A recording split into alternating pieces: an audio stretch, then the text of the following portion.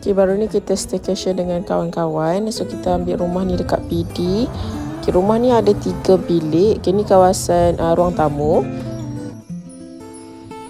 Okay, ini bilik master bedroom. Master bedroom ada katil king size dan juga bilik air kat dalam.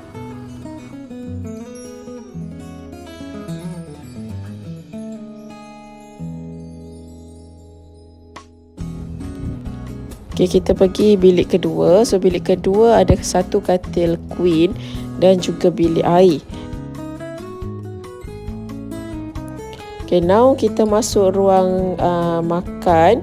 Okay, ruang makan ni nampak ada makanan kat situ sebab kita dah tempah dengan owner. Dekat sini kita boleh tempah makanan dengan owner. Breakfast boleh, dinner dan juga lunch. Okay, so sekarang kita masuk kawasan dapur. Dekat dapur memang lengkap semua pinggan, mangkuk. Uh, ada uh, kuku. Okay, kat belakang tu ada toilet satu. So sekarang kita masuk bilik nombor tiga. Okay, dan bilik nombor tiga ada katil queen tapi tak ada toilet. So boleh guna toilet dekat dapur tadi. Okay, ini pula kawasan dekat luar. Okay, memang banyak tempat untuk OOTD dan juga ada kolam. Dekat ujung sana ada tempat untuk BBQ. Okay, ada banyak spot untuk ambil gambar sebenarnya. Eh. Okay, kalau, kalau kita tengok kawasan daripada dalam, okay, boleh nampak kat situ kolam. Okay, kawasan sebelah kanan tu ada kursi warna hijau tu. Ah, itu adalah tempat OOTD yang cantik. Ah, ni contoh-contoh OOTD kita orang. Ha, nampak tak? Okay, so boleh duduk ambil OTD kat sini. Ha, inilah tempat yang saya cakap tadi tu. Cantik kat sini kan?